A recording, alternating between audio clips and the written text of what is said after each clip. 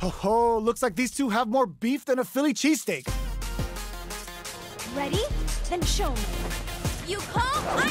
Round one. Fight. The fight's now underway. This is Vicious with the play-by-play. Opts for the throw. Steps in for the throw. Player one with the life lead. Hmm, what are they thinking here? The drive impact doesn't get them the punish counter, but it's still good. Hmm, taking stock. This is the perfect range to reach out and tag them with something. Player two creates a good corner opportunity. Very solid corner switch. Burns the drive gauge. All right, what's coming up next? Heading into the end game now. It's getting tense.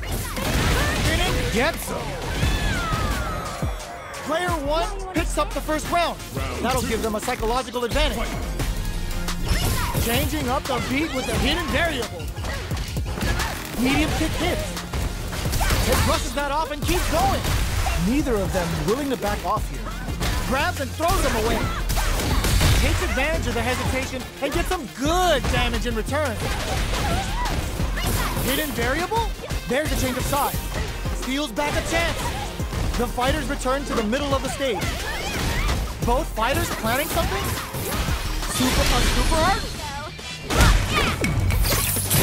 Confirms the Bushin Ninja Star Stun. The damage and attack boost off this will really tip things in their favor. Oh, drops him hard. In attack range, this is gonna hurt. The next touch, Nick, what a finish! Here's the final round. The real fight starts now.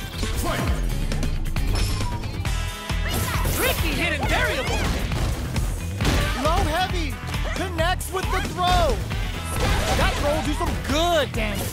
Sets up with the jump in. Excellent block. Vintage. Player one has the super gauge advantage. Adds a bit of OD spice. These guys are not go out of sight.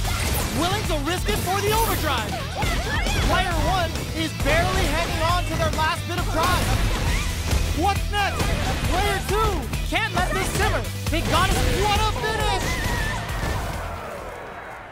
Player two is a force to be reckoned with.